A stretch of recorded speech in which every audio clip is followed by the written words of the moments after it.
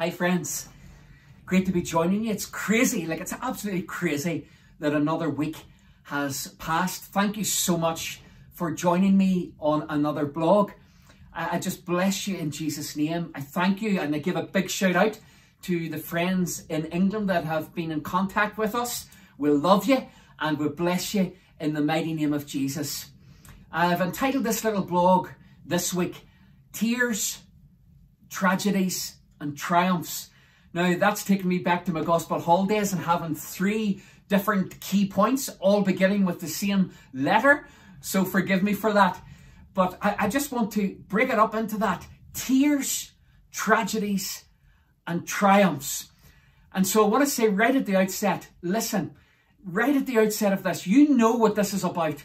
And this is about ultimately sharing about the goodness of God and about the love of the Lord Jesus Christ, how that Christ Jesus came into the world to save sinners.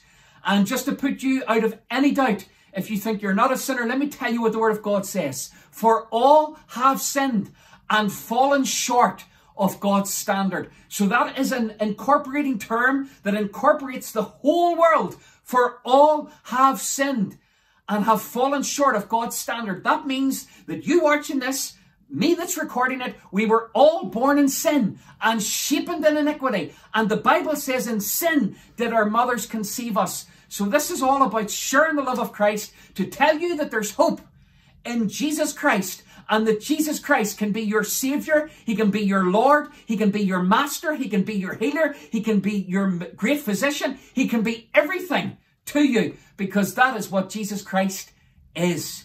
So this has been a big day. I want to thank you. Those of you that have remembered to pray, it's Friday the 12th of February. And some of you got in touch with me and I thank you for that and said that you were praying for Heather and I this morning. We had our first meeting, our first meeting together since I got my kidney removed on the 18th of November. And this was our first meeting together with the two cancer specialists, the surgeons that were involved in my surgery, and we sat with them today. And so we want to be honest. That's what this is all about. And this is why I have entitled the first little thing, Tears.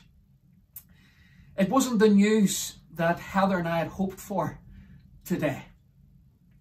And I want to be completely honest to all of those of you that are suffering with cancer those of you that are, that are caring for people with cancer, you know that cancer is graded between grade one to grade four, grade one being they catch it early and it's a low grade of cancer and they be confident in that, and grade four being the high risk, the one that is more vigorous, the one that is more aggressive. Sadly, Heather and I were told today that I have grade four aggressive cancer. They were straight with us as they've always been.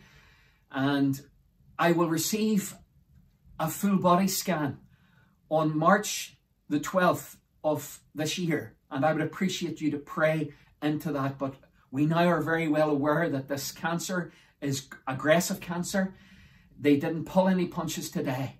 And so as Heather and I left that meeting this morning, and this is where we want to be honest, yes, we have got hope in Jesus Christ. Yes, 100%. Now listen to me. 100% we believe God could heal me in a moment. But I want to put something out here right now.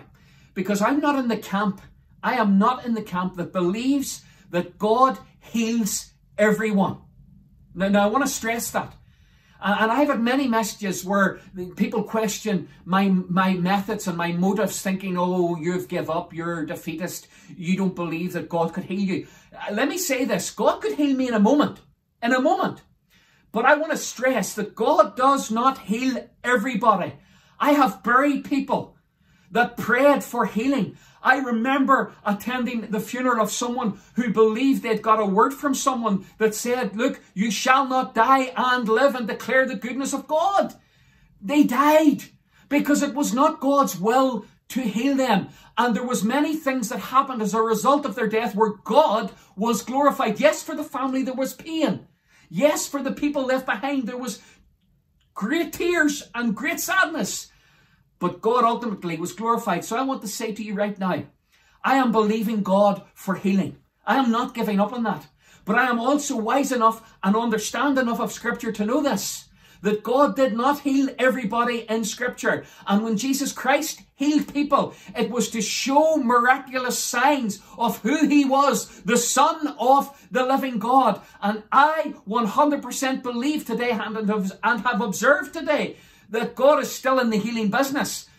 But God also takes people through sickness and tragedy and yes, even death to reveal His glory and to ultimately speak, speak to other people that don't know Jesus Christ. And he gets all the glory because Colossians 1 18 says this in all things he must have the preeminence. And so I say to you, right now, you continue to pray. It's this aggressive cancer. And so, with that in mind, I want to say right at the outset before I bring you to some tragedies and triumphs, finish with triumphs, I want to finish on a high note. This is my last little blog for a few weeks because for the next few weeks, Heather and I have made a conscious decision as we left today, the two cancer surgeons, we drove across from Limavady Roe Valley Hospital where we met them and we went to Benone Beach and we shed loads of tears, loads of tears as we thought of what we were just told, as we thought of the diagnosis. And we decided there and then that this will be the last blog for a while. But hold on, I want to share something with you later on. This is going to be my last blog for a while until I get the scan on March the 12th because we want to focus on our boys and Heather and I want to focus on each other. And ultimately, and my wife said this, and I pass it on to you, ultimately we want to focus upon our God in this current situation. So please hang in there. Don't unsubscribe. If you haven't subscribed, please hit the subscribe button because you're going to be interested in what we plan for this little channel in the time that God avails to us in the coming weeks, months in His will. So, tears, plenty of tears this morning as we sat in Benone Beach, as we drove through downhill in Castlerock. We held each other's hands, we prayed together, and we cried together, and we committed what the doctors had just told us into the hands of the great physician Remember, he's the great physician, the God, the all-knowing God, the omnipotent, omniscient, omniscient, omnipresent God, the God that can absolutely do anything above all that we ever could even ask for or even think about. He's a great God. So, tears, plenty of them. Tragedies. Let me bring you back. I'm lying in Altnagelvin Hospital. Here I am and I'm lying there and I'm talking to God and there's complications have set in. I'm on the PICC line.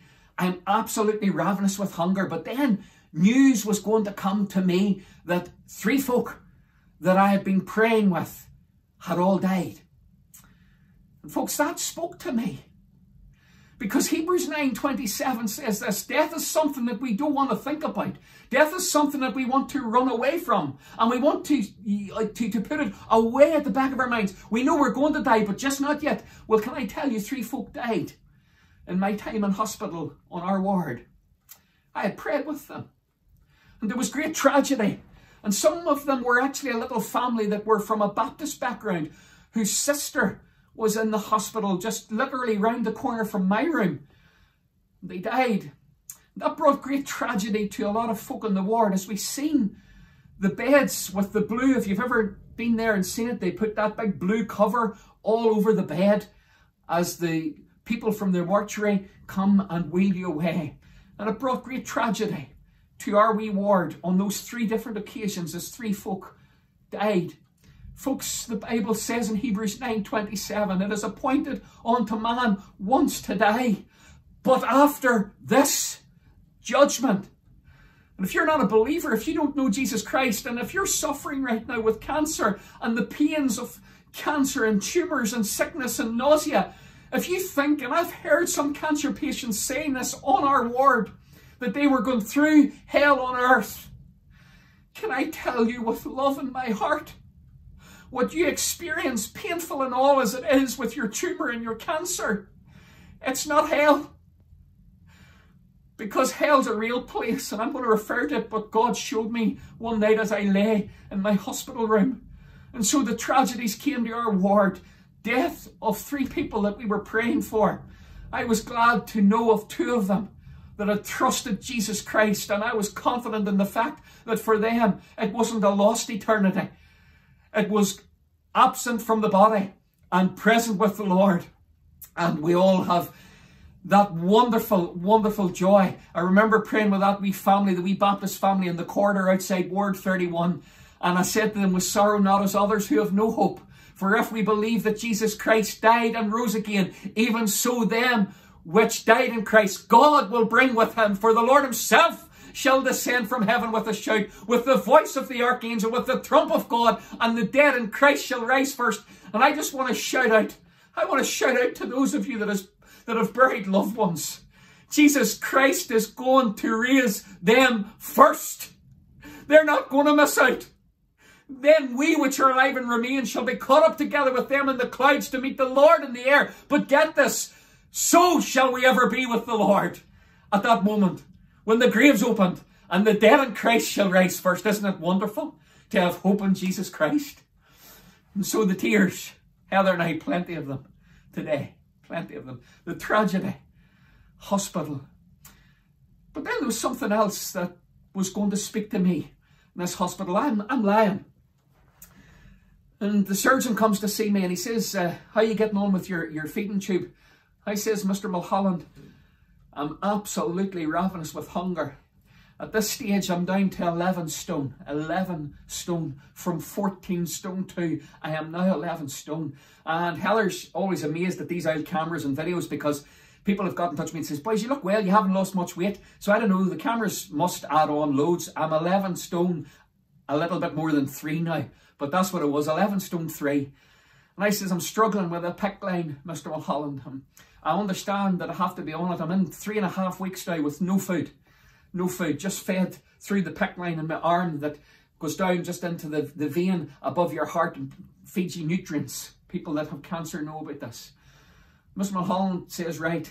And then his understudy, Dr. Abigail, a wonderful, wonderful, wonderful friend in hospital to me. Dr. Abigail met Heather and I in the foyer of Altnagelvin Hospital, just at the new coffee shop there.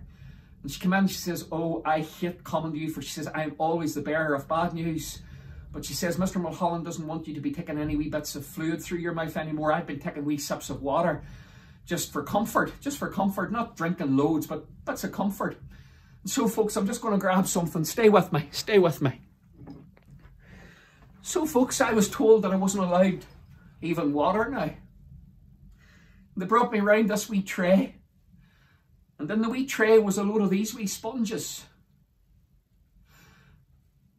And they said, Mark, you can use these just to, just to chew on, just to dampen your mouth. Folks, I started to do that in my ward, little room on my own. And I dipped it into the water and would have done this. Then one night I really, really, really got a strong sense of pictures of faces and people that I love and people that I know, and family members, aunts and uncles, cousins, friends that still don't know Jesus Christ and still think that we're just religious goofs and Bible bashers. And I'm sitting in my wee room and I'm taking these and I'm damping my mouth and I am so thirsty I cannot describe to you I cannot describe to you the thirst that I have. And I'm just damping my mouth. Then God started to give me these pictures of all the friends, family, and relations. God says, Mark, He spoke clearly to me. He says, Mark, what's it going to be like for all of these people that you're seeing in your mind right now if they die without Christ and find themselves in a lost eternity? Mark, what does my Bible, my word say? What does the scripture say about that awful place called hell? And I started to read Luke 16. And if you've never read this, you go grab your Bible right now. Or you, look it up on your, your device. There was a certain rich man who was clothed in purple and fine linen, and he fared sumptuously. In other words, he ate the best every day. But there was a certain beggar named Lazarus that led his gate. And he just fell, fed himself from the crumbs that fell from the rich man's table. But when you hear what it says? The rich man died And the beggar died. And it says that Lazarus was carried by the angels into Abraham's bosom, but the rich man also died and was buried. But get this, get this, if you're not saved, get this. It says, and in hell he lifted up his eyes, being in torment, and seeing Abraham afar off, and Lazarus, the old beggar, Lazarus that was lying, getting the crumbs, Lazarus in his bosom, and he says this. He says, send Lazarus, that he may dip the tip of his finger in water and cool my tongue, for I am tormented in this flame. And as I lay there with my wee sponge, just dipping water, for all there was in this, so parched, so thirsty, I thought of all the folk that will die without Jesus Christ and find themselves in the lake of fire.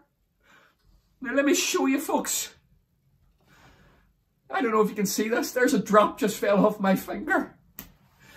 The folk that have heard the gospel. Folk brought up in a Christian home.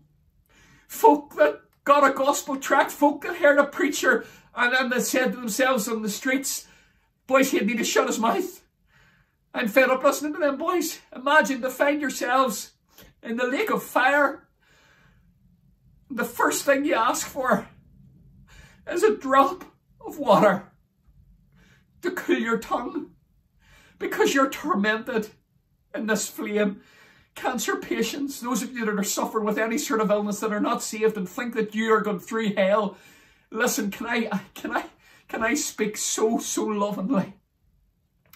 What you and I are going through right now is a teddy bear's picnic compared to what you will go through if you find yourself in a Christless eternity. But here's what the story says in Luke 16. The word comes back. Son, remember. Do you get it? Number one, you're going to feel in the lake of fire. You're going to feel. You're going to have your senses. This man finds himself there and he's looking for a drop of water to cool his tongue, but then he gets word back. Son, remember, his mind is still working. Imagine to find yourself in a lost eternity. And I'm not just talking about being there for a year or 10 or a 100. Boys, if you were there for a 100 and you knew you were getting out, at least you knew you were getting out. But folks, if you die without Jesus Christ, you're going to be there forever and you're not getting out. And your mind's going to be going. You're going to remember the gospel meetings. You're going to remember the gospel tracts. You're going to remember Mark Taylor sitting pleading with you. Pleading with you. Pleading with you to come to Jesus. You're going to remember it all. And you know what this man thinks about? He thinks about his five brothers. And you know if you find yourself in a hard place, the first thing you want is your family around you to comfort you. Isn't that right? But when you hear what he says, find himself in this awful place called hell, he says, look, there's five brothers. Will you tell someone to go and tell them not to come here? Because it's awful. He doesn't want his family there. And he pleads for someone to go and tell his family not to come. Let me take you back to the hospital. I want to come to this final part now of triumph. Triumph. At a 20 past one, I was sleeping. My, my, curtains pulled. Always pulled my curtains when I was in the open ward now. That was the ward where there was four patients. Always pulled my curtains at night because during the night uh, there was generally one of us that were vomiting or sick or something, and then there was a whole big commotion and lights and all on. So if you pulled your curtains, at least you could get a wee bit of kip.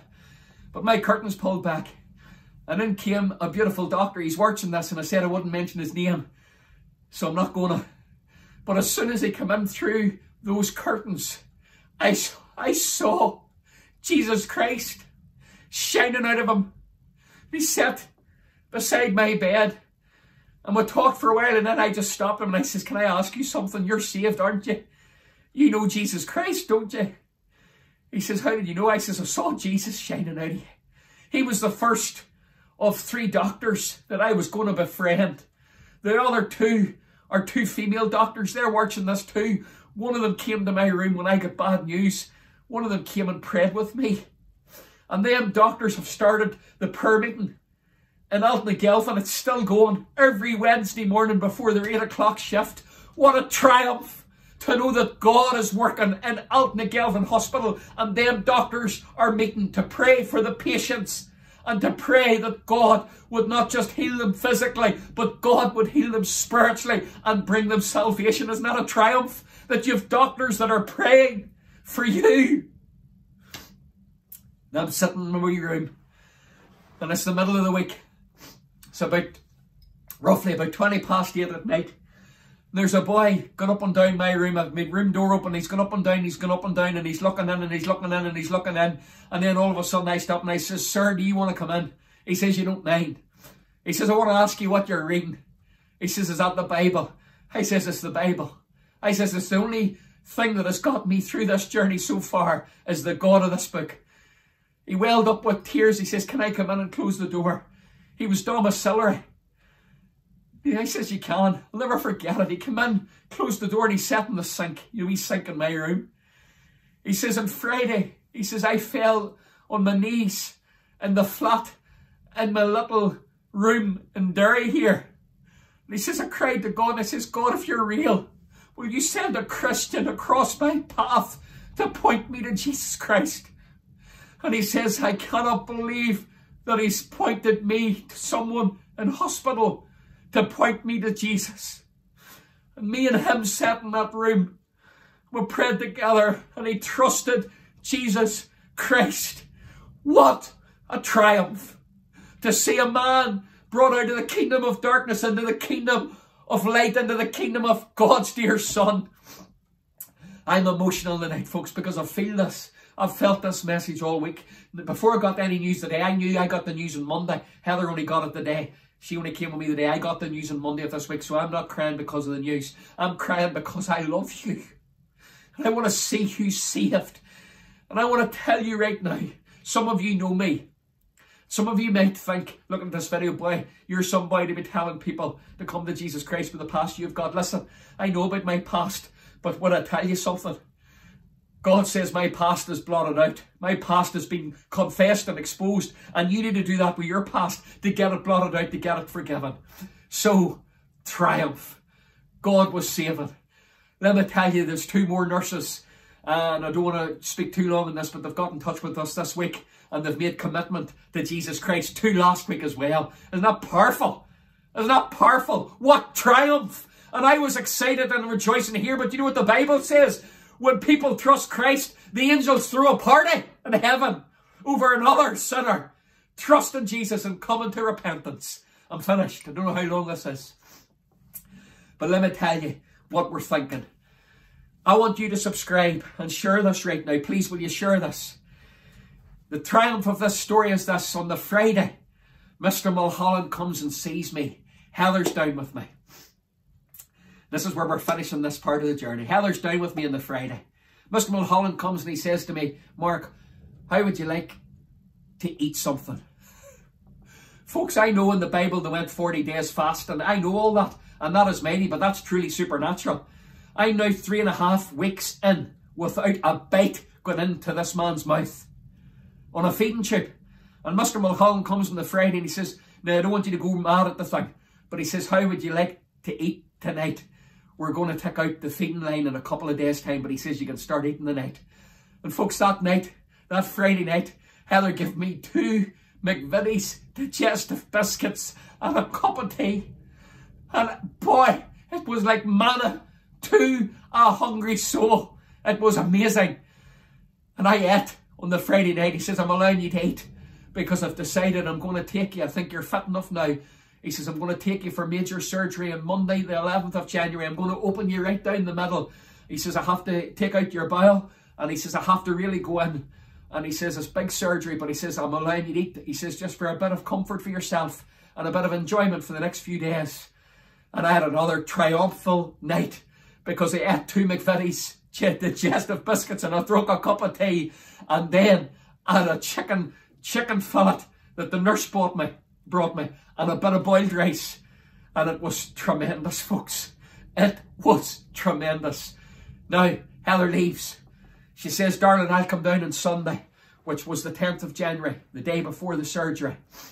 I'll come down on Sunday And she says, my beard had grew a right wee bit at this stage. She says, I'll shave that old beard and I'll trim your finger, your your your nails and your fingers for the neat cut. Imagine, she's me spoiled rotten. Hi, she is me spoiled rotten. And she came down on the Sunday and she done exactly that. And then I walked her to the door because I got a call to say that they wanted me back to do an ECG in my heart because the surgeon wanted it before surgery. And I went back to my room to do the ECG. I'm lying with the ECG things all on me and my phone goes and it's a text message from my wife and it says the following words. Mark, don't ring me, darling. I have fallen outside and I'm on my way to A&E. Of course, the first thing I did was ring her on FaceTime. And I rang Heather on FaceTime. I was just literally leaving her at the door of Altnagelvin and back in my room on the ECG machine. And I rang her and there she was on FaceTime with the tears streaming down her face, lying on a hospital bed. And we Heather had a double break. She slipped on ice on the steps, going out of Altnagelvin on the Sunday before my surgery and ended up in a wheelchair. Thank God today she's in the air boots, if you know what they are. She's still in a lot of pain, folks. And I would love you to pray for her as well.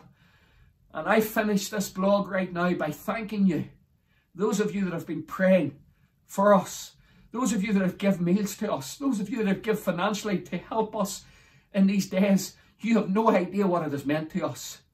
But ultimately, I want to give thanks to my Lord and Saviour because He measured and He has brought me through this far. And He has still got the measuring rod in His hand and He'll still bring us through. Folks, the plan for this wee blog, I've got in touch with some other cancer patients and some other very sick patients, very sick patients that Jesus has touched with salvation or Jesus has blessed them and, and brought them through. And so, God willing, if you subscribe, you're going to hear not just Heather Nice journey, but you're going to hear some blogs from other people that are going to join me as I share with them on this wee channel as they tell you what Jesus Christ means to them. In the meantime, listen, I'm not going to be on for a few weeks, so you'll not expect any. Please subscribe because we'll tell you the results of the scan on March the 12th. We will tell you what's going to happen with oncology, and then we will start with our first little person that is going to share with us. Her name is Joanne Peden. She has written three books. She's going to share her story. She's been bedridden for years. Some of you might know her. And we love her. She's been a blessing to us. She's been bedridden. She's only a young lady, but she's going to share in the first journey. So please, will you subscribe? There's not going to be, you're not going to be bombarded with videos, folks. And you're not going to be bombarded or be supporting Mark Taylor or anything like that. It's not about that. This is to share this channel with others that need to hear about Christ. So hit the subscribe button. Come on, hit the subscribe button right now. Go on to Facebook, go on to whatever. Share this video with as many people as you can. And I will see you all again in the near future. As I finish, Sharon Morrison, what a blessing to our hearts. Sharon didn't even know this, but she's been such a blessing. Sharon is a powerful singer, sings with the Morrisons. Some of you might know her, her, her daughter Nikki, Um, and I think it's Daryl, I'm near sure it's Daryl and Vibe in Armagh. They run that little church, and boy, that's a blessing to so many folk. But Sharon has agreed to sing this song at the end of this video. And it's a song that's precious to us because I want to share something with those of you that go and maybe visit people that are sick and dying or very ill. It's okay to go and visit them and encourage them, but sometimes you can come and you can deliver this whole big sermon and loads of verses. Let me tell you something what Pastor Willie Mullan once said. It's all right for you coming doing that when you're standing at the end of the bed. Just you try being in the bed. And it's a different story, folks. So please, always make sure that you don't say that you know how people feel if you don't know how they feel. Always make sure that what verse of scripture you want to share is from God. And listen, remember this, what Sharon's about to sing right now the God of the mountain, is still God in the valley. Listen to Sharon as she sings this song right now. Join Sharon on a Monday evening live on Sharon Morrison's Facebook page. She is live from 8 o'clock. It'll be a blessing to your soul as Sharon sings some old pieces, some new pieces, and sometimes she allows David, her husband, to join her. Boys, she's got him under the thumb, mind you, but don't you tell her I said that. He is under the thumb, that critter. Pray for him. Sharon Morrison will love you. David will love you. In the mighty name of Jesus, be blessed, folks. contact me. You can still contact me 07543 926 730. 07543 926 730. Send me a wee message, a wee text, and I'll do my best to reply where possible or email me. Mark Taylor, M A R C, Taylor, T A Y L O R, 338 at gmail.com. Please keep in touch with me. See you in a few weeks' time, folks. Subscribe, share, but ultimately, find Jesus. God bless you. Amen.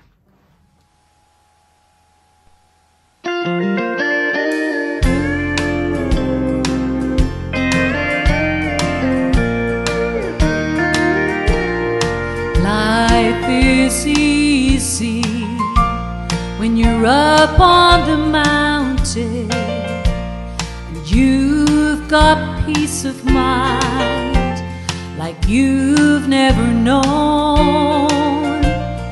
But things change when you're down in the valley. Don't lose faith, for you're never alone. For the God on the mountain is still God in the valley.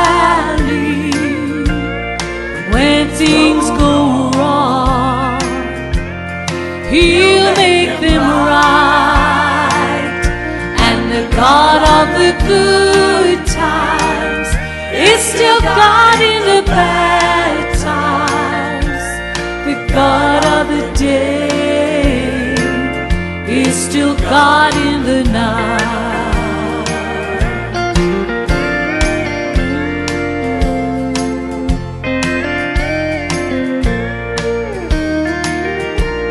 You talk of faith when you're up on the mountain.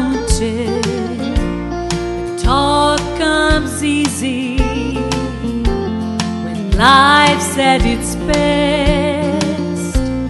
Now it's down in the valleys of trials and temptations. That's where your faith is really put to the test. For the God on the mountain is still God in the valley. Things go wrong, yes, He'll make them right. And the God of the good times is still God in the bad times. The God of the day is still God in the night. Yes, the God of the day to God in the